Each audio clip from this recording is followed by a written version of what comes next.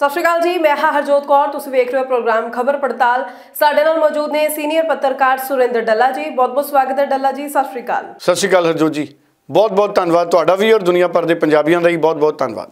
ਡੱਲਾ ਜੀ ਕਾਂਗਰਸ ਪਾਰਟੀ ਦੀ ਗੱਲ ਕਰੀਏ ਤਾਂ ਪੰਜਾਬ ਦੇ ਵਿੱਚ ਟਿਕਟਾਂ ਵੰਡ ਨੂੰ ਲੈ ਕੇ ਕਾਂਗਰਸ ਪਾਰਟੀ ਵਿਚਕਾਰ ਜੋ ਹੈ ਰੌਲਾ ਵਧਦਾ ਨਜ਼ਰ ਆ ਰਿਹਾ ਹੈ। ਖਾਸ ਤੌਰ ਤੇ ਜਦੋਂ ਆਪਾਂ ਪੰਜਾਬ ਕਾਂਗਰਸ ਦੀ ਗੱਲ ਕਰਦੇ ਹਾਂ ਤਾਂ ਜਿਹੜਾ ਇੱਕ ਅੰਦਰੂਨੀ ਸਰਵੇਖਣ ਵੀ ਕਰਵਾਇਆ ਗਿਆ ਸੀ ਤੇ ਉਹ ਅੰਦਰੂਨੀ ਸਰਵੇਖਣ ਦੇ ਵਿੱਚ ਵੀ ਜੋ ਹੈ ਤੱਥੀਆਂ ਕੁਝ ਗੱਲਾਂ ਠੀਕ ਠਾਕ ਨਹੀਂ ਆਈਆਂ ਨੇ।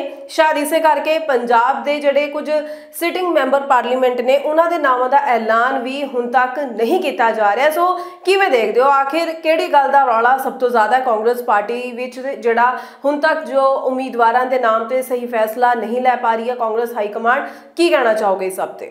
ਹਰਜੋਤ ਜੀ, ਕਾਂਗਰਸ ਦੇ ਵਿੱਚ ਜਿਹੜੀ ਪਹਿਲੀ ਸੂਚੀ ਸੀ ਉਹਦੇ ਵਿੱਚ ਪੰਜਾਬ ਤੋਂ, ਹਰਿਆਣੇ ਤੋਂ, ਹਿਮਾਚਲ ਪ੍ਰਦੇਸ਼ ਤੋਂ, ਚੰਡੀਗੜ੍ਹ ਤੋਂ ਜਾਂ ਰਾਜਸਥਾਨ ਤੋਂ ਕਿਸੇ ਵੀ ਉਮੀਦਵਾਰ ਦੇ ਨਾਮ ਦਾ ਐਲਾਨ ਨਹੀਂ ਕੀਤਾ ਗਿਆ। ਔਰ ਪਿਛਲੇ 2-3 ਦਿਨਾਂ ਤੋਂ ਪੰਜਾਬ ਦੇ ਵਿੱਚ ਕਾਂਗਰਸ ਦੀਆਂ ਟਿਕਟਾਂ ਦੀ ਵੰਡ ਨੂੰ ਲੈ ਕੇ ਬਹੁਤ ਜ਼ਿਆਦਾ ਮਾਰਾਮਾਰੀ ਹੈ। ਇੱਥੋਂ ਤੱਕ ਮੀਡੀਆ ਦੇ ਵਿੱਚ ਰਿਪੋਰਟਾਂ ਨਸ਼ਰ ਕੀਤੀਆਂ ਜਾ ਰਹੀਆਂ ਨੇ ਡਿਸਕਸ਼ਨਸ ਹੋ ਰਹੀਆਂ ਨੇ ਕਿ ਕਾਂਗਰਸ ਦੇ ਜਿਹੜੇ ਅੰਦਰੂਨੀ ਸਰਵੇਖਣ ਨੇ, ਉਹਨਾਂ ਸਰਵੇਖਣਾਂ ਤੋਂ ਬਾਅਦ ਜਿਹੜੇ ਸਿਟਿੰਗ ਮੈਂਬਰ ਪਾਰਲੀਮੈਂਟ ਨੇ, ਉਹਨਾਂ ਨੂੰ ਟਿਕਟਾਂ ਦੇਣ ਦੇ ਉੱਤੇ ਵੀ ਰਿਵਿਊ ਕੀਤਾ ਜਾ ਰਿਹਾ ਹੈ, ਭਾਵ ਪੜਤਾਲ ਕੀਤੀ ਜਾ ਰਹੀ ਹੈ, ਪੜਚੋਲ ਕੀਤੀ ਜਾ ਰਹੀ ਹੈ, ਵਿਚਾਰ ਵਟਾਂਦਰਾ ਕੀਤਾ ਜਾ ਰਿਹਾ ਹੈ। ਔਰ ਇਹ ਹਮੇਸ਼ਾ ਅਸੀਂ ਜਾਣਦੇ ਹਾਂ ਕਿ ਪੰਜਾਬ ਦੇ ਵਿੱਚ ਕਾਂਗਰਸ ਪਾਰਟੀ ਧੜੇਬਾਜ਼ੀ ਦੀ ਸ਼ਿਕਾਰ ਹੈ। ਬਹੁਤ ਸਾਰੇ ਸਿਟਿੰਗ ਮੈਂਬਰ ਪਾਰਲੀਮੈਂਟ ਨੇ ਜਿਹੜੇ, ਉਹ ਇਸ ਕਰਕੇ ਨਾਖੁਸ਼ ਨੇ ਕਿ ਜਦੋਂ ਚੋਣ ਜ਼ਾਬਤਾ ਲੱਗਣ ਵਾਲਾ ਹੈ, ਤੇ ਉਸ ਤੋਂ ਪਹਿਲਾਂ ਉਮੀਦਵਾਰਾਂ ਦੇ ਨਾਵਾਂ ਦਾ ਐਲਾਨ ਹੋ ਜਾਣਾ ਚਾਹੀਦਾ ਸੀ ਤੇ ਕਾਂਗਰਸ ਸਿਟਿੰਗ ਮੈਂਬਰ ਪਾਰਲੀਮੈਂਟਾਂ ਦੀਆਂ ਟਿਕਟਾਂ ਵੀ ਪੁਨਰ ਵਿਚਾਰ ਕਰ ਰਹੀ ਹੈ। ਖਾਸ ਤੌਰ ਤੇ ਜਿਹੜਾ ਪੰਜਾਬ ਦਾ ਸੰਗਠਨ ਹੈ, ਪੰਜਾਬ ਦਾ ਸੰਗਠਨ ਵੀ ਹਜੇ ਇਹ ਤੈਅ ਨਹੀਂ ਕਰ ਸਕਿਆ ਕਿ ਅਸੀਂ ਕਿਹੜੇ ਉਮੀਦਵਾਰ ਦੇ ਨਾਲ ਅੱਗੇ ਵਧਣਾ ਹੈ। ਔਰ ਹਰਜੋਤ ਜੀ, ਮੇਰਾ ਅਨੁਮਾਨਿਤ ਸਰਵੇਖਣ ਇਹ ਕਹਿੰਦਾ ਹੈ, ਕੱਲ ਦੋ ਤਿੰਨ ਦਿਨਾਂ ਤੋਂ ਮੀਡੀਆ ਦੇ ਵਿੱਚ ਖਬਰਾਂ ਚੱਲ ਰਹੀਆਂ ਸੀ। ਔਰ ਜਿਸ ਤੋਂ ਬਾਅਦ ਮੈਂ ਇੱਕ ਅਨੁਮਾਨਿਤ ਸਰਵੇਖਣ ਕੀਤਾ ਟੈਲੀਫੋਨਿਕਲੀ ਬਹੁਤ ਸਾਰੇ ਜਿਹੜੇ ਪੱਤਰਕਾਰ ਸਾਥੀ ਹੈ, ਉਹਨਾਂ ਦੇ ਨਾਲ ਵੀ ਗੱਲਬਾਤ ਹੋਈ। ਔਰ ਮੈਂ ਇਸ ਨਤੀਜੇ ਤੇ ਪਹੁੰਚਿਆ ਕਿ ਕਾਂਗਰਸ ਦੇ ਜਿਹੜੇ ਮੌਜੂਦਾ 6 ਸਿਟਿੰਗ ਕਾਂਗਰਸ ਦੇ ਮੈਂਬਰ ਪਾਰਲੀਮੈਂਟ ਨੇ, ਬੀਬੀ ਪ੍ਰਨੀਤ ਕੌਰ ਵੀ ਕਾਂਗਰਸ ਨੇ ਕਾਂਗਰਸ ਦੇ ਕੋਲ 7 ਨੇ, ਪਰ ਉਹ ਸਸਪੈਂਡਡ ਨੇ ਬੀਬੀ ਪ੍ਰਨੀਤ ਕੌਰ। ਔਰ ਉਹਨਾਂ ਦੀ ਉਮੀਦ ਹੈ ਕਿ ਉਹ ਬੀਜੇਪੀ ਚ ਜਾ ਸਕਦੇ ਨੇ, ਬੀਜੇਪੀ ਜੁਆਇਨ ਕਰ ਸਕਦੇ ਨੇ। ਹੁਣ ਕਾਂਗਰਸ ਦੇ ਬਚੇ 6 ਮੈਂਬਰ ਪਾਰਲੀਮੈਂਟ, ਉਹ ਕਿਹੜੇ ਕਿਹੜੇ ਨੇ? ਪਹਿਲਾਂ ਮੈਂ ਉਹਨਾਂ ਦਾ ਨਾਮ ਲੈਦਾ। ਜੀਐਸ ਔਜਲਾ, ਗੁਰਜੀਤ ਸਿੰਘ ਔਜਲਾ ਅੰਮ੍ਰਿਤਸਰ ਤੋਂ। ਹਾਲ ਹੀ ਦੇ ਵਿੱਚ ਪਾਰਲੀਮੈਂਟ ਦੇ ਵਿੱਚ ਜਿਹੜੀ ਗੁਰਜੀਤ ਔਜਲਾ ਨੇ ਬਹਾਦਰੀ ਦਿਖਾਈ, ਬੀਜੇਪੀ ਨੇ ਵੀ, ਕਾਂਗਰਸ ਨੇ ਵੀ, ਸਾਰੀਆਂ ਪਾਰਟੀਆਂ ਨੇ ਉਹਨਾਂ ਨੂੰ ਥਾਪੜਾ ਦਿੱਤਾ। ਸੋ ਗੁਰਜੀਤ ਔਜਲੇ ਦਾ ਸਨਮਾਨ ਵੀ ਕੀਤਾ ਗਿਆ ਜਦੋਂ ਪਾਰਲੀਮੈਂਟ ਦੇ ਵਿੱਚ ਉਹ ਬਹਾਦਰੀ ਦਿਖਾ ਕੇ ਵਾਪਸ ਅੰਮ੍ਰਿਤਸਰ ਆਏ ਸੀ। ਸੋ ਗੁਰਜੀਤ ਔਜਲਾ ਅੰਮ੍ਰਿਤਸਰ ਤੋਂ, ਮਨੀਸ਼ ਤਿਵਾੜੀ ਸ੍ਰੀ ਅਨੰਦਪੁਰ ਸਾਹਿਬ ਤੋਂ, ਜਸਬੀਰ ਸਿੰਘ ਡਿੰਪਾ ਖਡੂਰ ਸਾਹਿਬ ਤੋਂ, ਰਵਨੀਤ ਸਿੰਘ ਬਿੱਟੂ ਲੁਧਿਆਣਾ ਤੋਂ, ਮੁਹੰਮਦ ਸਦੀਕ ਫਰੀਦਕੋਟ ਹੁਣ ਜਿਹੜੇ ਬੀਬੀ ਪ੍ਰਨੀਤ ਕੌਰ ਹੈ, ਉਹਨਾਂ ਦਾ ਜੇ ਅਸੀਂ ਜ਼ਿਕਰ ਨਾ ਕਰੀਏ ਉਹ ਸਸਪੈਂਡਡ ਨੇ। ਬਾਕੀ 6 ਮੈਂਬਰ ਪਾਰਲੀਮੈਂਟਾਂ ਦੇ ਵਿੱਚੋਂ ਜੋ ਮੇਰਾ ਅਨੁਮਾਨਿਤ ਸਰਵੇਖਣ ਕਹਿੰਦਾ ਹੈ, ਚਾਰ ਚਿਹਰੇ ਅਜਿਹੇ ਨੇ, ਚਾਰ ਚਿਹਰੇ ਅਜਿਹੇ ਨੇ ਜਿਹੜੇ ਬੜੀ ਮਜ਼ਬੂਤੀ ਦੇ ਨਾਲ ਮੁਕਾਬਲਾ ਦੇ ਸਕਦੇ ਨੇ। ਡਾਕਟਰ ਅਮਰ ਸਿੰਘ ਫਤਿਹਗੜ੍ਹ ਸਾਹਿਬ ਤੋਂ ਮੈਂ ਉਹਨਾਂ ਦਾ ਨਾਮ ਲੈਣਾ ਭੁੱਲ ਗਿਆ ਸੀ। ਸੋ ਛੇਆਂ ਦੇ ਵਿੱਚੋਂ ਚਾਰ ਚਿਹਰੇ ਅਜਿਹੇ ਨੇ, ਇੱਕ ਤਾਂ ਗੁਰਜੀਤ ਔਜਲਾ ਗੁਰਜੀਤ ਔਜਲਾ ਤੋਂ ਚੰਗਾ ਵਿਕਲਪ ਜਾਂ ਚੰਗਾ ਬਦਲ ਇਸ ਵਕਤ ਕਾਂਗਰਸ ਪਾਰਟੀ ਕੋਲੇ ਅੰਮ੍ਰਿਤਸਰ 'ਚ ਨਹੀਂ ਹੈ। ਕੋਈ ਸ਼ੱਕ ਨਹੀਂ, ਨਵਜੋਤ ਸਿੰਘ ਸਿੱਧੂ ਬਹੁਤ ਵੱਡਾ ਚਿਹਰਾ ਨੇ, ਪਰ ਨਵਜੋਤ ਸਿੰਘ ਸਿੱਧੂ ਨੇ ਕੱਲ ਫੇਰ ਇੱਕ ਵਾਰੀ ਟਵੀਟ ਕਰਕੇ ਇਨਕਾਰ ਕਰ ਦਿੱਤਾ ਕਿ ਉਹ ਚੋਣ ਨਹੀਂ ਲੜਨਗੇ, ਨਾ ਪਟਿਆਲੇ ਤੋਂ, ਨਾ ਕਿਤੋਂ ਹੋਰ। ਸੋ ਪਾਰਲੀਮੈਂਟ ਦੀ ਚੋਣ ਉਹ ਨਹੀਂ ਲੜ ਰਿਹਾ ਪਰਿਵਾਰ ਨਵਜੋਤ ਸਿੰਘ ਸਿੱਧੂ ਦਾ। ਹੁਣ ਗੁਰਜੀਤ ਔਜਲਾ ਤੋਂ ਬਿਹਤਰ ਵਿਕਲਪ ਕਾਂਗਰਸ ਪਾਰਟੀ ਕੋਲੇ ਫਿਲਹਾਲ ਅੰਮ੍ਰਿਤਸਰ 'ਚ ਨਹੀਂ ਹੈ। ਹੁਣ ਇਹ ਕਾਂਗਰਸ ਦੀ ਗੁੱਟਬਾਜ਼ੀ ਕਹਿ ਲਈਏ ਕਿ ਕਾਂਗਰਸ ਦੇ ਵਿੱਚ ਇੱਕ ਧੜਾ ਚਾਹੁੰਦਾ ਹੈ ਕਿ ਅਸੀਂ ਓਪੀ ਸੋਨੀ ਉਹਨਾਂ ਨੂੰ ਅੱਗੇ ਵਧਾਈਏ। ਔਰ ਮੈਂ ਇੱਕ ਵਾਰੀ ਵੇਖਦਾ, ਮੈਂ ਜੇ ਪੰਜਾਬ ਦੀ ਕਾਂਗਰਸ ਦੇ ਸੰਗਠਨ ਦਾ ਤਜਰਬਾ ਕਰਾਂ, ਜੋ ਮੈਂ ਦੇਖਿਆ ਪੰਜਾਬ ਦੇ ਕਾਂਗਰਸ ਦਾ ਸੰਗਠਨ ਪਿਛਲੇ ਕੁਝ ਮਹੀਨਿਆਂ 'ਚ, ਜਦੋਂ ਤਾਂ ਗੱਲ ਆਉਂਦੀ ਹੈ ਨਵਜੋਤ ਸਿੰਘ ਸਿੱਧੂ ਦੀ, ਉਦੋਂ ਤਾਂ ਪੰਜਾਬ ਦੇ ਕਾਂਗਰਸ ਦਾ ਸੰਗਠਨ ਇਕੱਠਾ ਹੋ ਜਾਂਦਾ ਹੈ। ਜਦੋਂ ਨਵਜੋਤ ਸਿੰਘ ਸਿੱਧੂ ਦੀਆਂ ਰੈਲੀਆਂ 'ਚ, ਰੈਲੀਆਂ ਵੀ ਨਹੀਂ ਸੀ ਨਵਜੋਤ ਸਿੰਘ ਸਿੱਧੂ ਦੀਆਂ ਸਧਾਰਨ ਮੀਟਿੰਗਾਂ ਸੀ, ਉਹਦੇ ਚ 10 10 15 15 ਹਜ਼ਾਰ ਲੋਕ ਆਉਣ ਲੱਗੇ। ਤਾਂ ਕਾਂਗਰਸ ਦਾ ਸਾਰਾ ਸੰਗਠਨ ਇਕੱਠਾ ਹੋ ਗਿਆ, ਉਹ ਇੱਕ ਪਾਸੇ ਤੇ ਨਵਜੋਤ ਸਿੰਘ ਸਿੱਧੂ ਇੱਕ ਪਾਸੇ। ਤੇ ਜਦੋਂ ਆਮ ਆਦਮੀ ਪਾਰਟੀ ਨਾਲ ਸਮਝੌਤੇ ਦੀ ਗੱਲ ਚੱਲ ਰਹੀ ਸੀ, ਉਦੋਂ ਕਾਂਗਰਸ ਦਾ ਸੰਗਠਨ ਇੱਕ ਪਾਸੇ, ਵੀ ਸਾਨੂੰ ਆਮ ਆਦਮੀ ਪਾਰਟੀ ਨਾਲ ਸਮਝੌਤੇ ਦੀ ਲੋੜ ਨਹੀਂ। ਪੰਜਾਬ 'ਚ ਕਾਂਗਰਸ ਪਾਰਟੀ ਦੀ ਲਹਿਰ ਹੈ, ਆਮ ਆਦਮੀ ਪਾਰਟੀ ਦਾ ਐਂਟੀ ਇਨਕਮੈਂਸੀ ਬਹੁਤ ਜ਼ਿਆਦਾ ਹੈ। ਅਸੀਂ ਆਪਣੇ ਦਮ ਤੇ ਚੋਣਾਂ ਜਿੱਤਾਂਗੇ ਸਾਰੀਆਂ।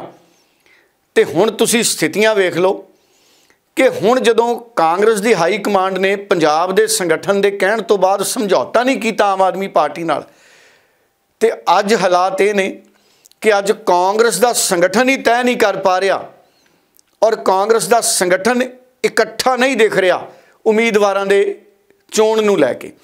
ਔਰ ਤੁਸੀਂ ਵੇਖੋ sitting member parliament Gurjeet Aujla ਦੋ ਵਾਰ ਦਾ ਜੇਤੂ ਔਰ ਪਾਰਲੀਮੈਂਟ ਚੋਂ ਬਹਾਦਰੀ ਕਰਕੇ ਗੁਰਜੀਤ ਔਜਲਾ ਜੀ ਬਾਹਰ ਆਏ ਨੇ। ਔਰ ਹਜੇ ਵੀ ਕਾਂਗਰਸ ਪਾਰਟੀ ਦਾ ਸੰਗਠਨ ਇਹ ਚਾਹੁੰਦਾ ਹੈ ਕਿ ਗੁਰਜੀਤ ਔਜਲਾ ਦੀ ਥਾਂ ਕਿਉਂ ਨਾ ਕਿਸੇ ਹੋਰ ਚਿਹਰੇ ਨੂੰ ਅੱਗੇ ਲਿਆਈਏ। ਔਰ ਮੇਰੇ ਅਨੁਮਾਨਿਤ ਸਰਵੇਖਣ ਮੁਤਾਬਕ ਗੁਰਜੀਤ ਔਜਲਾ ਤੋਂ ਮਜ਼ਬੂਤ ਕੈਂਡੀਡੇਟ ਫਿਲਹਾਲ ਕਿਸੇ ਪਾਰਟੀ ਕੋਲੇ ਨਹੀਂ ਹੈ। ਨਾ ਕਾਂਗਰਸ ਕੋਲੇ ਹੈ ਨਾ ਭਾਰਤੀ ਜਨਤਾ ਪਾਰਟੀ ਕੋਲੇ ਹੈ ਬੀਜੇਪੀ ਦਾ ਤਾਂ ਪਤਾ ਹੀ ਨਹੀਂ ਉਮੀਦਵਾਰ ਕਿਹੜਾ ਹੋਊਗਾ। ਨਾ ਆਮ ਆਦਮੀ ਪਾਰਟੀ ਨੇ ਹਜੇ ਪੱਤੇ ਖੋਲੇ ਨੇ। ਨਾ ਸ਼੍ਰੋਮਣੀ ਅਕਾਲੀ ਦਲ ਨੇ ਉੱਥੇ ਅਨਿਲ ਜੋਸ਼ੀ ਦਾ ਨਾਮ ਅੱਗੇ ਵਧਾ ਰਿਹਾ ਸ਼੍ਰੋਮਣੀ ਅਕਾਲੀ ਦਲ, ਪਰ ਕੱਲਾ ਸ਼੍ਰੋਮਣੀ ਅਕਾਲੀ ਦਲ ਉਸ ਸਥਿਤੀ 'ਚ ਨਹੀਂ ਹੈ। ਔਰ ਦੂਸਰੀ ਗੱਲ, ਮੈਂ ਸੁਣ ਰਿਹਾ ਸੀ ਕਾਂਗਰਸ ਦੇ ਕੁਝ ਲੀਡਰਾਂ ਦੀ ਨਾਰੇਬਾਜ਼ੀ ਜਦੋਂ ਮੀਟਿੰਗ ਹੋਈ ਅੰਮ੍ਰਿਤਸਰ ਦੇ ਵਿੱਚ, ਜਦੋਂ ਇਹਨਾਂ ਦੇ ਪ੍ਰਭਾਰੀ ਯੋਗਿੰਦਰ ਦਵਿੰਦਰ ਯਾਦਵ ਜੀ ਵੀ ਉੱਥੇ ਗਏ। ਕਿ ਜੀ ਭਾਰਤੀ ਜਨਤਾ ਪਾਰਟੀ ਦਾ ਮੁਕਾਬਲਾ ਕਰਨ ਲਈ ਹਿੰਦੂ ਚਿਹਰਾ ਅੰਮ੍ਰਿਤਸਰ ਚ ਅੱਗੇ ਵਧਾ, ਵਧਾਓ। ਔਰ ਮੇਰਾ ਅਨੁਮਾਨਿਤ ਸਰਵੇਖਣ ਇਹ ਕਹਿੰਦਾ ਹਰਜੋਤ ਜੀ ਕਿ ਪੂਰਾ ਪੰਜਾਬ ਪੰਜਾਬ ਜਦੋਂ ਰਾਜਨੀਤੀ ਦੀ ਗੱਲ ਆਉਂਦੀ ਹੈ, ਸਾਰੇ ਧਰਮਾਂ ਦਾ ਪੰਜਾਬੀ ਸਨਮਾਨ ਕਰਦੇ ਨੇ, ਪਰ ਜਦੋਂ ਰਾਜਨੀਤੀ ਦੀ ਗੱਲ ਆਉਂਦੀ ਹੈ, ਤੇ ਪੰਜਾਬੀ ਕਦੇ ਵੀ ਇਹ ਨਹੀਂ ਵੇਖਦੇ ਕਿ ਕੈਂਡੀਡੇਟ ਸਿੱਖ ਹੈ ਜਾਂ ਹਿੰਦੂ ਹੈ ਜਾਂ ਮੁਸਲਿਮ ਭਾਈਚਾਰੇ ਚੋਂ ਹੈ ਜਾਂ ਕ੍ਰਿਸਚਨ ਹੈ। ਹੁਣ ਜਦੋਂ ਅਟਲ ਬਿਹਾਰੀ ਵਾਜਪਾਈ ਪ੍ਰਧਾਨ ਮੰਤਰੀ ਬਣੇ, ਪੂਰਾ ਪੰਜਾਬ ਉਹਨਾਂ ਦੇ ਨਾਲ ਖੜਿਆ। ਜਦੋਂ ਡਾਕਟਰ ਮਨਮੋਹਨ ਸਿੰਘ ਪ੍ਰਧਾਨ ਮੰਤਰੀ ਬਣੇ, ਸਾਰਾ ਪੰਜਾਬ ਉਹਨਾਂ ਦੇ ਨਾਲ ਖੜਿਆ। ਔਰ ਪ੍ਰਕਾਸ਼ ਸਿੰਘ ਬਾਦਲ ਪੰਜ ਦਫੇ ਮੁੱਖ ਮੰਤਰੀ ਰਹੇ, ਉਹ ਇੱਕ ਸੈਕੂਲਰ ਚਿਹਰਾ ਪੰਜਾਬ 'ਚ ਰਹੇ। ਇਸੇ ਤਰ੍ਹਾਂ ਨਵਜੋਤ ਸਿੰਘ ਸਿੱਧੂ ਅੰਮ੍ਰਿਤਸਰ ਤੋਂ ਤਿੰਨ ਵਾਰ ਲਗਾਤਾਰ ਜਿੱਤੇ 2004 ਚ ਜਿੱਤੇ 2007 ਚ ਜਿੱਤੇ, ਫਿਰ 2009 ਚ ਜਿੱਤੇ। ਨਵਜੋਤ ਸਿੰਘ ਸਿੱਧੂ ਸੈਕੂਲਰ ਚਿਹਰਾ, ਲਗਾਤਾਰ ਜਿੱਤੇ। ਇਸੇ ਤਰ੍ਹਾਂ ਗੁਰਜੀਤ ਔਜਲਾ ਇੱਕ ਸੈਕੂਲਰ ਚਿਹਰਾ। ਕੋਈ ਕੱਟੜਵਾਦੀ ਛਵੀ ਨਹੀਂ ਹੈ ਉਹਨਾਂ ਦੀ। ਸੋ ਅਸਲ 'ਚ ਜਦੋਂ ਅਸੀਂ ਪੰਜਾਬ ਦੀ ਗੱਲ ਕਰਦੇ ਹਾਂ, ਤੁਸੀਂ ਦੇਖੋ ਸੰਗਰੂਰ 'ਚ ਸਿਮਰਨਜੀਤ ਸਿੰਘ ਮਾਨ ਜਿੱਤੇ। ਬਜ਼ੁਰਗ ਸਿਮਰਨਜੀਤ ਸਿੰਘ ਮਾਨ ਜਿੱਤੇ, ਜਿਹੜੀ ਇੱਕ ਵੱਖਰੀ ਸੋਚ ਲੈ ਕੇ ਚੱਲਦੇ ਨੇ। ਪਰ ਉਹਨਾਂ ਨੇ ਸੰਗਰੂਰ ਦੀਆਂ ਚੋਣਾਂ ਦੇ ਵਿੱਚ ਉਸ ਮੁੱਦੇ ਨੂੰ ਨਹੀਂ ਸੀ ਉਭਾਰਿਆ। ਉਹ ਸੈਕੂਲਰ ਬਣ ਕੇ ਡੈਮੋਕ੍ਰੈਟਿਕ ਤਰੀਕੇ ਨਾਲ ਲੋਕਤੰਤਰ 'ਚ ਭਰੋਸਾ ਰੱਖ ਕੇ ਸਿਮਰਜੀਤ ਸਿੰਘ ਮਾਨ ਸੰਗਰੂਰ ਤੋਂ ਚੋਣ ਲੜੇ ਤੇ ਜਿੱਤ ਗਏ। ਸੋ ਪੰਜਾਬ 'ਚ ਸੈਕੂਲਰ ਚਿਹਰੇ ਜਿੱਤਦੇ ਨੇ, ਨਾ ਕਿ ਪੰਜਾਬ 'ਚ ਹਿੰਦੂ ਚਿਹਰਾ ਜਾਂ ਸਿੱਖ ਚਿਹਰਾ ਜਾਂ ਮੁਸਲਿਮ ਚਿਹਰਾ ਜਾਂ ਕ੍ਰਿਸਚੀਅਨ ਚਿਹਰਾ ਜਿੱਤਦਾ। ਸੋ ਇਸ ਕਰਕੇ ਕਾਂਗਰਸ ਕਿਤੋਂ ਨਾ ਕਿਤੋਂ ਬੀਜੇਪੀ ਤੋਂ ਦੇਖੋ, ਇਹਦੇ 'ਚ ਵੀ ਇਹਦੇ 'ਚ ਵੀ ਕੋਈ ਦੋ ਰਾਏ ਨਹੀਂ ਹੈ ਕਿ ਭਾਰਤੀ ਜਨਤਾ ਪਾਰਟੀ ਨੇ ਇੱਕ ਵੱਡਾ ਵਾਅਦਾ ਪੂਰਾ ਕੀਤਾ ਹੈ ਸ਼੍ਰੀ ਰਾਮ ਮੰਦਿਰ ਦੇ ਨਿਰਮਾਣ ਦਾ। ਹੁਣ ਸ਼੍ਰੀ ਰਾਮ ਮੰਦਿਰ ਵੀ ਸਾਂਝਾ ਸਾਰਿਆਂ ਦਾ। ਹੁਣ ਸ਼੍ਰੀ ਦਰਬਾਰ ਸਾਹਿਬ ਸਾਰੇ ਧਰਮਾਂ ਲਈ ਦਰਵਾਜ਼ੇ ਖੁੱਲੇ ਨੇ, ਚਾਰ ਦਰਵਾਜ਼ੇ ਨੇ। ਔਰ ਸ਼੍ਰੀ ਦਰਬਾਰ ਸਾਹਿਬ ਹਰ ਧਰਮ ਦੇ ਲੋਕ ਦੇਖਦੇ ਨੇ। ਤੁਹਾਨੂੰ ਜਦੋਂ ਤੁਸੀਂ ਟੈਲੀਵਿਜ਼ਨ ਤੇ ਕੀਰਤਨ ਦੇਖਦੇ ਹੋ ਸ਼ਰਧਾਲੂ ਸਾਰੇ ਆਏ ਹੁੰਦੇ ਨੇ, ਇਸੇ ਤਰ੍ਹਾਂ ਸ਼੍ਰੀ ਰਾਮ ਮੰਦਿਰ 'ਚ ਹਰ ਕੋਈ ਜਾ ਰਿਹਾ। ਸੋ ਧਰਮ ਸਿਆਸਤ ਦੇ ਨਾਲ ਚੋਣਾਂ ਦੇ ਵੇਲੇ ਲੋਕ ਨਹੀਂ ਦੇਖਦੇ ਕਿ ਕਿਸ ਧਰਮ ਦਾ ਉਮੀਦਵਾਰ ਹੈ, ਨਹੀਂ ਦੇਖਦੇ। ਇਹ ਤਜਰਬੇ ਇਹ ਕਹਿੰਦੇ ਨੇ, ਪਿਛਲੇ ਅੰਕੜੇ ਇਹ ਕਹਿੰਦੇ ਨੇ। ਹੁਣ ਅੰਮ੍ਰਿਤਸਰ 'ਚ ਗੁਰਜੀਤ ਔਜਲਾ ਸੈਕੂਲਰ ਚਿਹਰਾ ਔਰ ਕਾਂਗਰਸ ਪਾਰਟੀ ਦਾ ਇੱਕ ਧੜਾ ਸੈਕੂਲਰ ਚਿਹਰੇ ਨੂੰ ਛੱਡ ਕੇ ਵੱਖਰੀ ਮੰਗ ਤੇ ਅੱਗੇ ਵਧ ਰਿਹਾ ਹੈ ਔਰ ਇਹਦਾ ਨੁਕਸਾਨ ਕਿਹਨੂੰ ਹੈ? ਕਾਂਗਰਸ ਨੂੰ ਹੈ। ਦੇਖੋ, ਅਗਰ ਗੁਰਜੀਤ ਔਜਲੇ ਨੂੰ ਟਿਕਟ ਨਹੀਂ ਵੀ ਦਿੰਦੇ, ਤੇ ਮੈਂ ਕੁਝ ਲੋਕਾਂ ਨੂੰ ਪੁੱਛਿਆ, ਅਗਰ ਗੁਰਜੀਤ ਔਜਲੇ ਨੂੰ ਟਿਕਟ ਨਹੀਂ ਵੀ ਦਿੰਦੇ,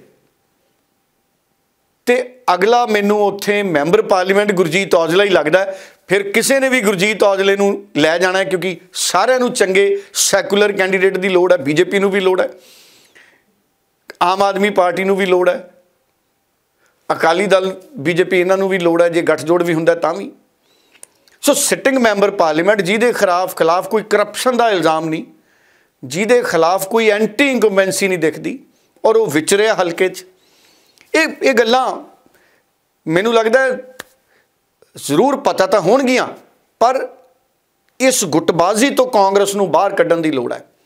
ਦੇਸ਼ ਨੂੰ ਆਜ਼ਾਦ ਕਰਾਉਣ ਵਾਲੀ ਪਾਰਟੀ ਸਿੱਧੂ ਦੇ ਖਿਲਾਫ ਪੰਜਾਬ ਦਾ ਸੰਗਠਨ ਇਕੱਠਾ ਹੋ ਜਾਂਦਾ ਹੈ। ਇਹਨਾਂ ਮੁੱਦਿਆਂ ਤੇ ਇਕੱਠੇ ਹੋਣ ਦੀ ਲੋੜ ਹੈ ਕਿ ਜਿਹੜੇ ਜੇਤੂ ਕੈਂਡੀਡੇਟ ਨੇ, ਅਸੀਂ ਉਹਨਾਂ ਦਾ ਵਿਰੋਧ ਨਾ ਕਰੀਏ। ਇਸੇ ਤਰ੍ਹਾਂ ਮਨੀਸ਼ ਤਿਵਾੜੀ ਹੈ। ਮਨੀਸ਼ ਤਿਵਾੜੀ ਸੈਕੂਲਰ ਛਵੀ, ਸੈਕੂਲਰ ਚਿਹਰਾ, ਸ਼੍ਰੀ ਅਨੰਦਪੁਰ ਸਾਹਿਬ ਤੋਂ ਜਿੱਤੇ। ਔਰ ਮਨੀਸ਼ ਤਿਵਾੜੀ ਦਾ ਬਦਲ ਕੋਈ ਨਹੀਂ। ਮਨੀਸ਼ ਤਿਵਾੜੀ ਉਹ ਚਿਹਰਾ ਅੱਜ ਪੰਜਾਬ 'ਚ ਕਾਂਗਰਸ ਕੋਲੇ। ਭਾਵੇਂ ਤੁਸੀਂ ਮਨੀਸ਼ ਤਿਵਾੜੀ ਨੂੰ ਲੁਧਿਆਣੇ ਤੋਂ ਉਤਾਰ ਲਓ, ਉਹ ਮੁਕਾਬਲੇ 'ਚ ਨੇ। ਭਾਵੇਂ ਤੁਸੀਂ, ਮੈਂ ਇਹ ਨਹੀਂ ਕਹਿੰਦਾ ਕਿਸੇ ਵੀ ਬਾਰੇ ਕਿ ਜਿੱਤੂ ਕੌਣ। ਪਰ ਮੈਂ ਆਪਣਾ ਅਨੁਮਾਨ ਦੱਸ ਰਿਹਾ, ਮਨੀਸ਼ ਤਿਵਾੜੀ ਦਾ ਬਦਲ ਹੈ ਨਹੀਂ ਲੁਧਿਆਣੇ 'ਚ। ਅਗਰ ਲੁਧਿਆਣੇ 'ਚ ਮਨੀਸ਼ ਤਿਵਾੜੀ ਆ ਜਾਏ ਕਿਸੇ ਪਾਰਟੀ ਵੱਲੋਂ ਆ ਜਾਏ ਤੇ ਮਨੀਸ਼ ਤਿਵਾੜੀ ਤਕੜਾ ਚਿਹਰਾ ਹੈ। ਉਹਦੇ ਨਾਲ ਮੁਕਾਬਲਾ ਕਰਨਾ ਪਊ ਬਾਕੀਆਂ ਨੂੰ। ਹੁਣ ਮਨੀਸ਼ ਤਿਵਾੜੀ ਨੂੰ ਭਾਵੇਂ ਤੁਸੀਂ ਚੰਡੀਗੜ੍ਹ ਲੈ ਜਾਓ, ਉਹ ਉੱਥੇ ਵੀ ਤਕੜਾ ਚਿਹਰਾ ਮਨੀਸ਼ ਤਿਵਾੜੀ। ਸੋ ਕੁਝ ਚਿਹਰੇ ਨੇ, ਮਨੀਸ਼ ਤਿਵਾੜੀ ਸੈਕੂਲਰ ਚਿਹਰਾ ਹੈ, ਕੋਈ ਐਂਟੀ ਇੰਗਮੈਂਸੀ ਨਹੀਂ ਹੈ। ਔਰ ਪਾਰਲੀਮੈਂਟ ਦੇ ਵਿੱਚ ਦੱਬ ਕੇ ਪੰਜਾਬ ਦੇ ਮਸਲੇ ਵੀ ਪਿਛਲੇ ਸਮਿਆਂ 'ਚ ਉਭਾਰੇ ਨੇ ਔਰ ਮੰਨੇ ਪਰਮੰਨੇ ਸੁਪਰੀਮ ਕੋਰਟ ਦੇ ਵਕੀਲ ਨੇ। ਇਸੇ ਤਰ੍ਹਾਂ ਜਸਬੀਰ ਡਿੰਪਾ ਖਡੂਰ ਸਾਹਿਬ 'ਚ ਮੈਨੂੰ ਨਹੀਂ ਲੱਗਦਾ ਕਿ ਕਾਂਗਰਸ ਪਾਰਟੀ ਕੋਲੇ ਕੋਈ ਉਸ ਤੋਂ ਤਕੜਾ ਵਿਕਲਪ ਹੈ। ਇਸੇ ਤਰ੍ਹਾਂ ਫਤਿਹਗੜ੍ਹ ਸਾਹਿਬ ਡਾਕਟਰ ਅਮਰ ਸਿੰਘ ਮੈਨੂੰ ਕੋਈ ਬਦਲ ਨਹੀਂ ਦਿਖਦਾ। ਕਾਂਗਰਸ ਕੋਲੇ ਫਿਲਹਾਲ ਡਾਕਟਰ ਅਮਰ ਸਿੰਘ ਤੋਂ ਮਜ਼ਬੂਤ ਕੈਂਡੀਡੇਟ ਮੈਨੂੰ ਕੋਈ ਨਹੀਂ ਦਿਖਦਾ। ਕਾਂਗਰਸ ਦੇ ਪੱਖੋਂ ਹੁਣ ਰਵਨੀਤ ਬਿੱਟੂ ਹੈ ਲੁਧਿਆਣੇ 'ਚ। ਹੁਣ ਰਵਨੀਤ, ਜੇ ਜੇ ਮੈਂ ਡਾਕਟਰ ਅਮਰ ਸਿੰਘ ਦੀ ਗੱਲ ਕਰਾਂ, ਮਨੀਸ਼ ਤਿਵਾੜੀ ਦੀ ਗੱਲ ਕਰਾਂ, ਗੁਰਜੀਤ ਔਜਲੇ ਦੀ ਗੱਲ ਕਰਾਂ,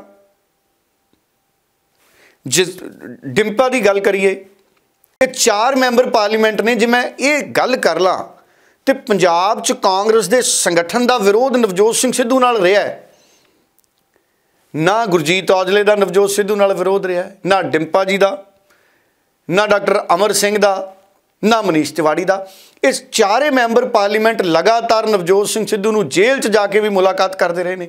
ਔਰ ਜਿਸ ਦਿਨ ਨਵਜੋਤ ਸਿੰਘ ਸਿੱਧੂ ਦੀ ਰਿਹਾਈ ਸੀ, ਗੁਰਜੀਤ ਔਜਲਾ ਗੇਟ ਤੇ ਖੜੇ ਸੀ, ਉਸ ਦਿਨ ਮੈਂ ਆਪ ਮਿਲਿਆ। ਇਹਦਾ ਮਤਲਬ ਹੈ ਕਿ ਇਹ ਸੈਕੂਲਰ ਚਿਹਰੇ ਨੇ, ਧੜੇਬਾਜ਼ੀ ਵਾਲੇ ਨਹੀਂ ਹੈ। ਹੁਣ ਅਗਰ ਮਨੀਸ਼ ਤਿਵਾੜੀ ਚੋਣ ਲੜਦੇ ਨੇ, ਗੁਰਜੀਤ ਔਜਲਾ ਚੋਣ ਲੜਦੇ ਨੇ, ਡਾਕਟਰ ਅਮਰ ਸਿੰਘ ਚੋਣ ਲੜਦੇ ਨੇ, ਡਿੰਪਾ ਚੋਣ ਲੜਦੇ ਨੇ, ਨਵਜੋਤ ਸਿੰਘ ਸਿੱਧੂ ਮੈਨੂੰ ਲੱਗਦਾ ਡਟ ਕੇ ਪ੍ਰਚਾਰ ਕਰਨ ਜਾਊ ਇਹਨਾਂ ਦੇ ਲਈ। ਕਿਉਂਕਿ ਇਮਾਨਦਾਰ ਛਵੀ ਵਾਲੇ ਲੀਡਰ ਨੇ। ਮੁਹੰਮਦ ਸਦੀਕ ਜਿਹੜੇ ਫਰੀਦਕੋਟ ਵਾਲੇ ਨੇ, ਉਹਨਾਂ ਦੀ ਸਰਗਰਮੀ ਵੀ ਬਹੁਤ ਜ਼ਿਆਦਾ ਨਹੀਂ ਰਹੀ। ਉਹਨਾਂ ਬਾਰੇ ਮੈਂ ਬਹੁਤੀ ਗੱਲ ਕਿਸੇ ਨਾਲ ਕੀਤੀ ਨਹੀਂ, ਕਿਉਂਕਿ ਫਰੀਦਕੋਟ ਤੋਂ ਮੁਹੰਮਦ ਸਦੀਕ ਮੈਂਬਰ ਪਾਰਲੀਮੈਂਟ ਨੇ। ਪਰ ਉਹ ਚੰਗੇ ਪ੍ਰਸਿੱਧ ਨੇ ਲੋਕਾਂ ਚੋਂ ਵੀ, ਇਹੋ ਜੀ ਗੱਲ ਨਹੀਂ। ਪਰ ਜੇ ਮੈਂ ਚਾਰ ਦੀ ਗੱਲ ਕਰਾਂ, ਗੁਰਜੀਤ ਔਜਲਾ, ਮਨੀਸ਼ ਤਿਵਾੜੀ, ਡਿੰਪਾ ਔਰ ਡਾਕਟਰ ਅਮਰ ਸਿੰਘ, ਮੌਜੂਦਾ ਸਮੇਂ 'ਚ ਇਹਨਾਂ ਚਾਰਾਂ ਮੈਂਬਰ ਪਾਰਲੀਮੈਂਟਾਂ ਦਾ ਬਦਲ ਨਹੀਂ ਹੈ। ਉਂਝ ਰਵਨੀਤ ਬਿੱਟੂ ਦੀ ਟਿਕਟ ਕੱਟਣੀ ਬੜੀ ਔਖੀ ਹੈ। ਇਹ ਹੋ ਸਕਦਾ ਹੈ ਕਿ ਰਾਹੁਲ ਗਾਂਧੀ, ਰਵਨੀਤ ਬਿੱਟੂ ਉਹਨਾਂ ਨੂੰ ਕਿਤੋਂ ਹੋਰ ਲੜਾ ਦੇਣ, ਕਿਉਂਕਿ ਰਾਹੁਲ ਗਾਂਧੀ ਦੇ ਨਾਲ ਵੀ ਨੇੜਤਾ ਬਹੁਤ ਹੈ ਰਵਨੀਤ ਬਿੱਟੂ ਦੀ। ਔਰ ਰਵਨੀਤ ਬਿੱਟੂ ਉਹ ਜਨਰੇਸ਼ਨ ਹੈ ਜਿਹੜੀ ਪ੍ਰਧਾਨਗੀ ਦੀ ਵੀ ਦਾਅਵੇਦਾਰ ਹੈ। ਰਵਨੀਤ ਬਿੱਟੂ ਆਉਂਦੇ ਸਮੇਂ 'ਚ ਰਾਜਾ ਵੜਿੰਗ ਤੋਂ ਬਾਅਦ ਜਿਹੜੇ ਦਾਅਵੇਦਾਰ ਨੇ ਪੰਜਾਬ 'ਚ ਕਾਂਗਰਸ ਦੀ ਪ੍ਰਧਾਨਗੀ ਦੇ ਉਹਨਾਂ ਜੋ ਰਵਨੀਤ ਬਿੱਟੂ ਸਭ ਤੋਂ ਅੱਗੇ ਹੈ ਰਵਨੀਤ ਬਿੱਟੂ ਵੀ ਹੈ ਭਾਰਤ ਭੂਸ਼ਣ ਆਸ਼ੂ ਵੀ ਹੈ ਇਹ ਦੋਵੇਂ ਲੀਡਰ ਪ੍ਰਧਾਨਗੀ ਦੇ ਵੀ ਦਾਅਵੇਦਾਰ ਨੇ। ਹੁਣ ਜਾਂ ਤਾਂ ਰਾਹੁਲ ਗਾਂਧੀ ਇਹ ਮਸਲਾ ਨਿਬੇੜ ਸਕਦਾ, ਰਵਨੀਤ ਬਿੱਟੂ ਵਾਲਾ, ਮੈਨੂੰ ਲੱਗਦਾ। ਪੰਜਾਬ ਦਾ ਸੰਗਠਨ ਹੈ ਜਿਹੜਾ, ਉਹ ਵੀ ਇਸ ਪੋਜੀਸ਼ਨ 'ਚ ਨਹੀਂ ਹੈ ਕਿ ਰਵਨੀਤ ਬਿੱਟੂ ਦੀ ਟਿਕਟ ਕੱਟ ਦੇਣ।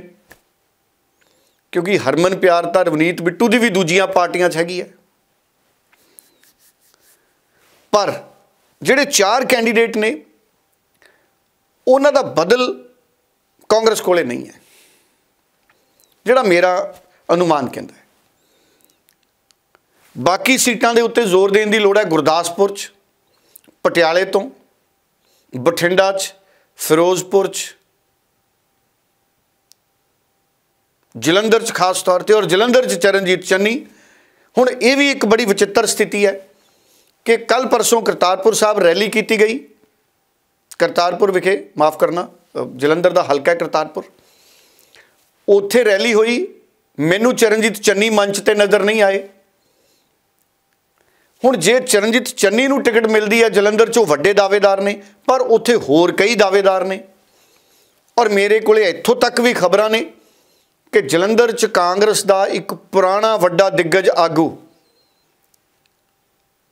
ਅਗਰ ਨਜ਼ਰਅੰਦਾਜ਼ ਕੀਤਾ ਗਿਆ, ਉਹ ਆਗੂ ਵੀ ਤਿਆਰ ਹੈ, ਫੁੱਲ ਡਿਮਾਂਡ ਹੈ ਉਸ ਆਗੂ ਦੀ ਵੀ, ਮੈਂ ਨਾਮ ਨਹੀਂ ਲੈਂਦਾ।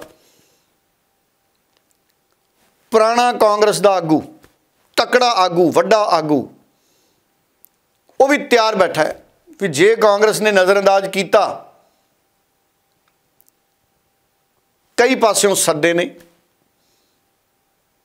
ਸੋ ਬੜੀਆਂ ਹੈਰਾਨੀਜਨਕ ਸਥਿਤੀਆਂ ਕਾਂਗਰਸ ਪਾਰਟੀ ਦੇ ਵਿੱਚ ਇਸ ਵਕਤ ਬਣ ਰਹੀਆਂ ਨੇ। ਟਿਕਟਾਂ ਦੀ ਵੰਡ ਨੂੰ ਲੈ ਕੇ ਔਰ ਰੌਲੇ ਪਿਛਲੇ ਸਮਿਆਂ ਦੇ ਵਿੱਚ ਵੀ ਪਏ ਨੇ ਕਾਂਗਰਸ ਦੀਆਂ ਟਿਕਟਾਂ ਵੇਲੇ। ਇਹ ਨਹੀਂ ਵੀ ਪਹਿਲੀ ਵਾਰੀ ਕਾਂਗਰਸ ਦੀਆਂ ਟਿਕਟਾਂ ਦੇ ਰੌਲੇ ਪੈ ਰਹੇ ਨੇ। ਪਰ ਅਗਰ ਗੱਲ ਚੋਣ ਜ਼ਾਬਤੇ ਤੋਂ ਅੱਗੇ ਨਿਕਲ ਗਈ, ਕਿ ਚੋਣ ਜ਼ਾਬਤਾ ਲੱਗਣ ਤੋਂ ਬਾਅਦ ਫੈਸਲੇ ਹੋਣਗੇ, ਤੇ ਕਾਂਗਰਸ ਦੀ ਸਥਿਤੀ ਔਖੀ ਹੁੰਦੀ ਜਾਣੀ ਹੈ। ਮੇਰਾ ਅਨੁਮਾਨਿਤ ਸਰਵੇਖਣ ਸੀ ਪਹਿਲਾਂ, ਪਰ ਜਿਹੜੀਆਂ ਤਾਜ਼ਾ ਸਥਿਤੀਆਂ ਨੇ ਕਿਉਂਕਿ ਹਜੇ ਚੋਣ ਜ਼ਾਬਤਾ ਨਹੀਂ ਲੱਗਿਆ, ਹਜੇ ਅਨੁਮਾਨ ਲਗਾਏ ਜਾ ਸਕਦੇ ਨੇ। ਅੱਜ ਮੇਰਾ ਇਹ ਮੰਨਣਾ ਹੈ ਕਿ ਜਿਹੜੇ ਚਾਰ ਮੈਂਬਰ ਪਾਰਲੀਮੈਂਟ ਨੇ, ਇਹ ਬਿਹਤਰ ਉਮੀਦਵਾਰ ਇਸ ਵਕਤ ਕਾਂਗਰਸ ਕੋਲੇ ਨੇ, ਜਿਹੜੇ ਮੁਕਾਬਲੇ 'ਚ ਨੇ। ਸੋ ਕਾਂਗਰਸ ਹਾਲ ਦੀ ਘੜੀ ਮੈਨੂੰ ਚਾਰ ਸੀਟਾਂ ਤੇ ਮੁਕਾਬਲੇ 'ਚ ਦਿਖ ਰਹੀ ਹੈ। ਬਾਕੀ ਅਕਾਲੀ ਭਾਜਪਾ ਗੱਠਜੋੜ ਹੁੰਦਾ ਤੇ ਕੀ ਸਥਿਤੀ ਬਣਦੀ ਹੈ? ਆਮ ਆਦਮੀ ਪਾਰਟੀ ਜਦੋਂ ਕੈਂਡੀਡੇਟ ਅਨਾਉਂਸ ਕਰਦੀ ਹੈ, ਕੀ ਸਥਿਤੀ ਬਣਦੀ ਹੈ, ਇਹ ਭਵਿੱਖ 'ਚ ਦੇਖਣ ਵਾਲੀ ਗੱਲ ਰਹੇਗੀ। ਡੱਲਾ ਜੀ, ਕੀ ਇਹ ਵੀ ਗੱਲ ਹੈ ਕਿ ਆਮ ਆਦਮੀ ਪਾਰਟੀ ਨੇ ਇਸੇ ਕਰਕੇ ਆਪਣੇ ਉਮੀਦਵਾਰਾਂ ਦੇ ਨਾਂ ਦੀ ਜਿਹੜੀ ਅਨਾਉਂਸਮੈਂਟ ਹੈ ਰੋਕ ਦਿੱਤੀ ਹੈ? ਕਿਉਂਕਿ ਕਿਤੇ ਤਾਂ ਆਮ ਆਦਮੀ ਪਾਰਟੀ ਵੱਲੋਂ ਇਹ ਕਿਹਾ ਜਾ ਰਿਹਾ ਸੀ ਕਿ ਫਰਵਰੀ ਦੇ ਮਹੀਨੇ ਵਿੱਚ ਹੀ ਉਹ ਆਪਣੇ ਪੰਜਾਬ ਦੇ ਜਿਹੜੇ ਉਮੀਦਵਾਰਾਂ ਦੀ ਲਿਸਟ ਆ, ਉਹ ਜਾਰੀ ਕਰ ਦੇਣਗੇ। ਪਰ ਅਸੀਂ ਹੁਣ ਜਿਵੇਂ ਦੇਖ ਰਹੇ ਹਾਂ ਕਿ ਮਾਰਚ ਦਾ ਪਹਿਲਾ ਹਫਤਾ ਵੀ ਲੰਘ ਚੁੱਕਿਆ ਤੇ ਹਲੇ ਤੱਕ ਜੋ ਹੈ ਆਮ ਆਦਮੀ ਪਾਰਟੀ ਨੇ ਆਪਣੇ ਉਮੀਦਵਾਰਾਂ ਦਾ ਨਾਂ ਦਾ ਐਲਾਨ ਨਹੀਂ ਕੀਤਾ ਜਦਕਿ ਬਾਕੀ ਦੇਸ਼ ਦੇ ਵਿੱਚ ਤਾਂ ਉਹਨਾਂ ਨੇ ਆਪਣੇ ਜਿਹੜੇ ਵੀ ਉਮੀਦਵਾਰ ਨੇ, ਜਿਨ੍ਹਾਂ ਨੇ ਚੋਣ ਲੜਨੀ ਹੈ ਉਹਨਾਂ ਦੇ ਨਾਮਾਂ ਦਾ ਐਲਾਨ ਕੀਤਾ ਜਾ ਚੁੱਕਿਆ ਹੈ। ਸੋ ਕੀ ਕਹੋਗੇ ਇਹਨਾਂ ਸਾਰੀਆਂ ਸਥਿਤੀਆਂ ਨੂੰ ਵੇਖਦੇ ਹੋਇਆ? ਹਰਜੋਤ ਜੀ, ਆਮ ਆਦਮੀ ਪਾਰਟੀ ਨੇ ਰੈਲੀਆਂ 'ਚ ਕਿਹਾ ਸੀ ਕਿ ਅਸੀਂ ਫਰਵਰੀ 'ਚ ਆਪਣੇ ਉਮੀਦਵਾਰਾਂ ਦੇ ਨਾਮਾਂ ਦਾ ਐਲਾਨ ਕਰ ਦਾਂਗੇ। ਆਮ ਆਦਮੀ ਪਾਰਟੀ ਇੰਡੀਆ ਗਠਬੰਧਨ ਦੇ ਵਿੱਚ ਸਭ ਤੋਂ ਪਹਿਲਾਂ ਮੰਗ ਕਰਨ ਵਾਲੀ ਪਾਰਟੀ ਸੀ ਕਿ ਜਲਦ ਤੋਂ ਜਲਦ ਉਮੀਦਵਾਰਾਂ ਦੇ ਨਾਵਾਂ ਦਾ ਐਲਾਨ ਕੀਤਾ ਜਾਵੇ। ਔਰ ਆਮ ਆਦਮੀ ਪਾਰਟੀ ਨੇ ਗੋਆ 'ਚ ਸਭ ਤੋਂ ਪਹਿਲਾਂ ਉਮੀਦਵਾਰ ਐਲਾਨੇ। ਦਿੱਲੀ ਤੇ ਕੁਰਕਸ਼ੇਤਰਾ ਦੇ ਵਿੱਚ ਵੀ ਉਹਨਾਂ ਨੇ ਆਪਣਾ ਉਮੀਦਵਾਰ ਐਲਾਨਿਆ। ਦਿੱਲੀ ਦਿੱਲੀ 'ਚ ਤਾਂ ਚੋਣ ਪ੍ਰਚਾਰ ਵੀ ਸ਼ੁਰੂ ਕਰਤਾ ਔਰ ਕੱਲ ਹਰਿਆਣੇ 'ਚ ਵੀ ਭਗਵੰਤ ਮਾਨ ਨੇ ਚੋਣ ਅਭਿਆਨ ਦੀ ਸ਼ੁਰੂਆਤ ਕਰਤੀ। ਹੁਣ ਗੱਲ ਰਹਿ ਗਈ ਪੰਜਾਬ ਦੀ। ਪੰਜਾਬ 'ਚ ਆਮ ਆਦਮੀ ਪਾਰਟੀ ਬਹੁਤ ਸੋਚ ਸਮਝ ਕੇ ਅੱਗੇ ਵਧ ਰਹੀ ਹੈ। ਆਮ ਆਦਮੀ ਪਾਰਟੀ ਕੋਲੇ ਪਹਿਲੀ ਲਿਸਟ 13 ਦੇ 13 ਕੈਂਡੀਡੇਟਾਂ ਦੀ ਤਿਆਰ ਹੈ ਭਗਵੰਤ ਮਾਨ ਕੋਲੇ। ਪਰ ਉਹ ਹੋਰ ਬਿਹਤਰ ਚੋਣ ਦੇਖ ਰਹੇ ਨੇ ਕਿ ਅਗਰ ਇਹਨਾਂ ਤੋਂ ਵੀ ਚੰਗਾ ਉਮੀਦਵਾਰ ਮਿਲੇ ਔਰ ਕਾਂਗਰਸ 'ਚ ਜਿਸ ਤਰ੍ਹਾਂ ਦਾ ਕਾਟੋ ਕਲੇਸ਼ ਟਿਕਟਾਂ ਨੂੰ ਲੈ ਕੇ ਹੈ ਕੀ ਖਿਚੜੀ ਬੰਦੀ ਹੈ ਕਾਂਗਰਸ 'ਚ? ਕੀ ਸਿਟਿੰਗ ਮੈਂਬਰ ਪਾਰਲੀਮੈਂਟਾਂ ਦੀ ਟਿਕਟ ਕਾਂਗਰਸ ਦਾ ਸੰਗਠਨ ਪੰਜਾਬ ਵਾਲਾ ਕਟਾ ਦੇਗਾ ਕਿ ਦਿੱਲੀ ਵਾਲੇ ਪੰਜਾਬ ਦੇ ਕਾਂਗਰਸ ਦੇ ਸੰਗਠਨ ਦੀ ਗੱਲ ਨੂੰ ਰੱਦ ਕਰਕੇ ਸਿਟਿੰਗ ਤਕੜੇ ਨੇ ਜਿਹੜੇ ਉਹਨਾਂ ਨੂੰ ਟਿਕਟਾਂ ਦੇਣਗੇ? ਅਗਰ ਨਹੀਂ ਦੇਣਗੇ ਸਿਟਿੰਗ ਦੀਆਂ ਕੁਝ ਦੀਆਂ ਟਿਕਟਾਂ ਕੱਟ ਦੇਣਗੇ, ਤੇ ਫਿਰ ਸਿਟਿੰਗ ਨੇ ਜਿਹੜੇ, ਉਹਨਾਂ ਨੂੰ ਤਾਂ ਟਿਕਟਾਂ ਮਿਲ ਜਾਣੀਆਂ ਨੇ, ਭਾਵੇਂ ਕੋਈ ਹੋਰ ਪਾਰਟੀ ਦੇ ਦੇ ਆਮ ਆਦਮੀ ਪਾਰਟੀ ਦੀ ਵੀ ਸਭ ਤੋਂ ਪਹਿਲੀ ਨਜ਼ਰ ਹੈ, ਪੰਜਾਬ 'ਚ ਸੱਤਾ ਧਿਰ ਹੈ ਔਰ ਅਗਰ ਆਮ ਆਦਮੀ ਪਾਰਟੀ ਨੂੰ ਕਾਂਗਰਸ ਦਾ ਸਿਟਿੰਗ ਐਮਪੀ ਮਿਲ ਗਿਆ ਉਮੀਦਵਾਰ ਦੇ ਤੌਰ ਤੇ ਤੇ ਆਮ ਆਦਮੀ ਪਾਰਟੀ ਲਈ ਇਹ ਸੋਨੇ ਤੇ ਸੁਹਾਗੇ ਵਾਲੀ ਗੱਲ ਹੈ। ਇਸ ਕਰਕੇ ਆਮ ਆਦਮੀ ਪਾਰਟੀ ਆਪਣੀਆਂ ਟਿਕਟਾਂ ਰੋਕੀ ਬੈਠੀ ਹੈ। ਦੂਸਰਾ, ਉਹ ਇਹ ਵੀ ਇੰਤਜ਼ਾਰ ਕਰ ਰਹੇ ਨੇ ਕਿ ਅਕਾਲੀ ਭਾਜਪਾ ਗੱਠਜੋੜ ਹੁੰਦਾ ਜਾਂ ਨਹੀਂ ਹੁੰਦਾ। ਮੈਨੂੰ ਲੱਗਦਾ ਆਮ ਆਦਮੀ ਪਾਰਟੀ ਵੀ ਚੋਣ ਜ਼ਾਬਤਾ ਲੱਗਣ ਤੋਂ ਬਾਅਦ ਉਮੀਦਵਾਰ ਐਲਾਨੇਗੀ। ਉਹ ਪਹਿਲਾਂ ਵੇਖਣਗੇ ਕਿ ਅਕਾਲੀ ਬੀਜੇਪੀ ਗੱਠਜੋੜ ਹੁੰਦਾ ਜਾਂ ਨਹੀਂ ਹੁੰਦਾ। ਅਗਰ ਅਕਾਲੀ ਬੀਜੇਪੀ ਗੱਠਜੋੜ ਨਹੀਂ ਹੁੰਦਾ, ਫਿਰ ਆਮ ਆਦਮੀ ਪਾਰਟੀ ਆਪਣੇ ਆਲ- ਆਪ ਨੂੰ ਜ਼ਿਆਦਾ ਕੰਫਰਟੇਬਲ ਆਸਾਨੀ, ਚੰਗੀ ਸਥਿਤੀ 'ਚ ਮਹਿਸੂਸ ਕਰੇਗੀ।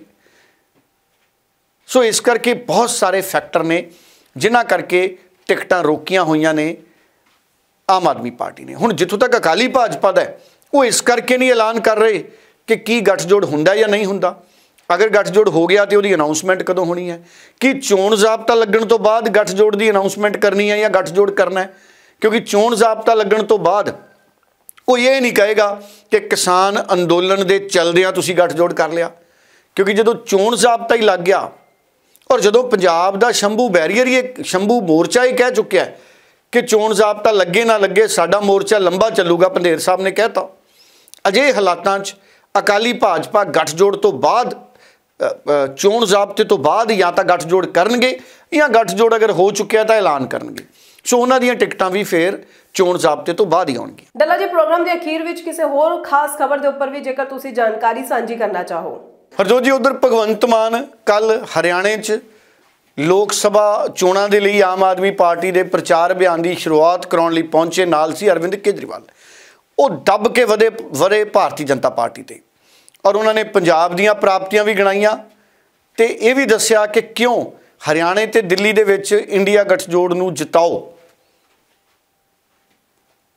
ਅਗਲੇ 1-2 ਦਿਨ ਅੱਜ ਔਰ ਕੱਲ ਭਗਵੰਤ ਮਾਨ ਔਰ ਅਰਵਿੰਦ ਕੇਜਰੀਵਾਲ ਪੰਜਾਬ 'ਚ ਵੀ ਆਪਣੇ ਚੋਣ ਪ੍ਰਚਾਰ ਦੀ ਸ਼ੁਰੂਆਤ ਕਰਨ ਵਾਲੇ ਨੇ ਔਰ ਜਿਵੇਂ ਮੈਂ ਪਹਿਲਾਂ ਵੀ ਜ਼ਿਕਰ ਕੀਤਾ ਹੈ ਪੰਜਾਬ ਦੀਆਂ ਟਿਕਟਾਂ ਦਾ ਐਲਾਨ ਚੋਣ ਜ਼ਾਬਤੇ ਤੋਂ ਬਾਅਦ ਹੋਣ ਦੀ ਉਮੀਦ ਹੈ आज दो राज्यों में हमारी सरकार है दस हमारे राज्यसभा में मेंबर हैं, पाँच हमारे एमएलए गुजरात में हैं, दो हमारे एमएलए गोवा में हैं, और आने वाले दिनों में एमसीडी जो हमारे पास एमसीडी दिल्ली की भी है, हमारा मेयर चंडीगढ़ में है, मध्य प्रदेश में संगरौली नाम की जगह वहाँ मेयर है, और आने वाले दिनों में तेरह सीटें पंजाब से लोकसभा में आ रही हैं, एक कुरुक्षेत्र की आने वाली है और दिल्ली में जीतने वाले हैं, शक्ति और बढ़ने वाली है।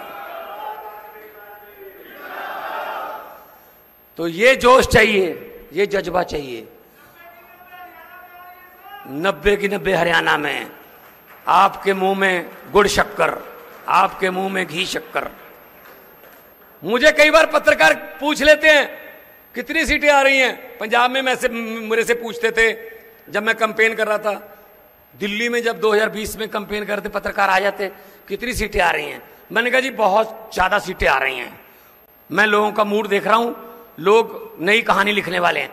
कहते आपकी सर्वे में नहीं आते। आम आदमी पार्टी सर्वे में नहीं आती। मैंने कहा, जी, आम आदमी पार्टी है, हम सर्वे में नहीं आते, सीधा सरकार में आते हैं हम तो। तो सर्वे वर्वे में नहीं आते हम। हम तो सीधा सरकार में आते हैं। ये जो देखो आम लोगों की कि नब्बे की नब्बे हरियाणा में आएँगी। आएँगी? क्यों नहीं आएँगी? दिल्ली में सत्तर में से सड़सठ sixty seven out of seventy दूसरी बार दिल्ली में सत्तर में से बासठ और पंजाब में पहली बार पहली बार हुआ कि अकाली दल बीजेपी और कांग्रेस के बिना कोई पार्टी नहीं आई। 117 में से बानवे। तो हम सर्वे वाले नहीं हैं। हम तो सरकार में आते हैं। तो ये कहने के लिए आपके पास आए हैं कि अरविंद केजरीवाल के हाथ मज़बूत करो। आपके ऊपर इतनी मुसीबतें आई दस साल के अंदर। कहाँ थे ये लोग? हमारी हरियाणा की पहलवान बेटियाँ, उनके ऊपर अत्याचार किए गए, उनके साथ गलत काम किया गया, उनके साथ छेड़छाड़ की गई। जब वो धरना प्रदर्शन करने के लिए दिल्ली गई तो उनको लाठियों से पीटा गया। मैं गया था उनके पास जंतर मंतर पे उनका साथ देने के लिए। आपके दस एमपी कहाँ थे? तालियाँ बजा रहे थे जब आपकी बेटियों के साथ छेड़छाड़ की जा रही थी। घर में बैठ के पार्टी कर रहे थे, तालियाँ बजा रहे थे जब आपकी बेटियों को छेड़ा जा रहा था। अभी जब आप किसान, हरियाणा के, पंजाब के किसान दिल्ली जाना चाहते थे, बॉर्डर के ऊपर उनको रोक लिया गया। क्या कसूर था जी किसानों का? यही तो कह रहे थे, फ़सलों के पूरे दाम दे दो। मिलने चाहिए कि नहीं मिलने चाहिए पूरे दाम? फ़सल के पूरे दाम मिलने चाहिए, नहीं मिलने चाहिए किसानों को? किसान कह रहे थे, फ़सलों के पूरे दाम दे दो। क्या मिला बदले में? ऊपर से गोले छोड़ दिए। ऊपर से चाइना के ऊपर गोले छोड़ने की हिम्मत नहीं है इनकी। पाकिस्तान के ऊपर गोले छोड़ने की हिम्मत नहीं है। अपने किसानों के ऊपर गोले छोड़ दिए इन लोगों ने। एक किसान मारा गया, किसान का बेटा शहीद हो गया पंजाब के अंदर। जब किसानों के ऊपर गोले छोड़े जा रहे थे, आँसू गैस के गोले छोड़े जा रहे थे, रबड़ की गोलियाँ छोड़ रहे थे, मार रहे थे डंडे मार रहे थे, वाटर कैनन मार रहे थे तो कहाँ थे जी आपके ये दस एमपी ये तालियाँ बजा रहे थे। बड़ा मज़ा आ रहा था इनको, किसानों को पीट रहे हैं, बड़ा मज़ा आ रहा था इनको। बहुत मज़ा आ रहा था इनको। पिछले साल किसानों की फ़सलें बर्बाद हो गई पूरे हरियाणा के अंदर। पूरे हरियाणा के किसानों में तबाही मची हुई थी, फ़सलें बर्बाद हो गई, बेचारा किसान लुट गया। ब्याज, वो कर्जा लेके तो बेचारा फ़सल उगाता है, उसका ब्याज ऊपर से देना पड़ता है। चारों तरफ़ किसान कह रहे थे, भाई, हमको मुआवजा दे दो, मुआवजा दे दो। किसी को मुआवजा नहीं दिया, खट्टर सरकार ने। कहा थे तब ये दसों के दस एमपी किसी ने आवाज़ नहीं उठाई आप लोगों की? जब बेरोजगार युवकों को पुलिस वाले दौड़ा दौड़ा के पीट रहे थे, डंडे मार रहे थे, बेरोजगार युवा नौकरी मांग रहे थे, सड़कों के ऊपर कहा थे आपके दस के दस एमपी तालियाँ बजा रहे थे बेरोजगारी पे, आपकी बेरोजगारी का मज़ाक उड़ा रहे थे। और हद तो तब हो गई जब आपके बेरोजगार बच्चों को यूक्रेन भेज दिया खट्टर सरकार ने युद्ध के अंदर मरने के लिए। मेरे को मेरे को तो रोना आ गया। अगर कहीं युद्ध हो जाए तो सारी दुनिया के देश अपने नागरिकों को वहाँ से निकालते हैं।